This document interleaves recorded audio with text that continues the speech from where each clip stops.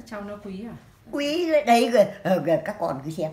Cán bộ đó mình chịu khó như mình không có nửa giả dối nên trộm thế rồi chịu khó họ gàn nào ừ. cán bộ nó cứ mời nó ở đây, cô ấy. Cái củi đó dọn dẹp đi. Cái là có. Ừ. Đấy, con xem đã có khu gia đình mà lát đấy bao nhiêu củi đấy. Có muốn bao nhiêu càng gian củi từ khu. Con đâu cái là mình quyền mình chịu khó ờ, mình làm. Chả sao đâm mong chả được.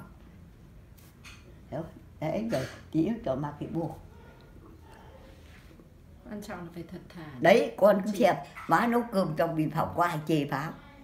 Mặc vạc cơm trước.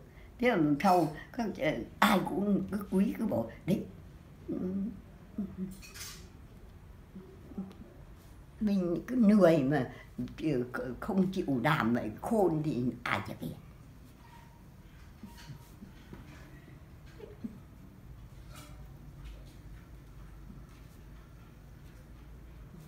Bao từ đông con thì nó trả nấy. Hả? Đông con đấy mà nuôi cả con. nhỉ đông con ta phải ăn đủ thôi đừng khoa chết khoa cũng chết.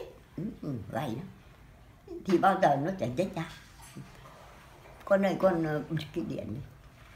Vâng. đồ khỏe. Thế thôi thế giờ má nghỉ